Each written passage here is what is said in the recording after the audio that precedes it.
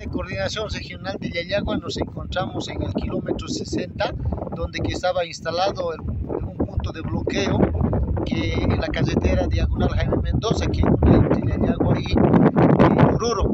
En ello que el día de ayer han podido eh, darse o entender, por ejemplo, los bloqueadores para poder levantar el tema de bloqueo. En ello ahora inspeccionamos pues de que la carretera se encuentra totalmente expedita.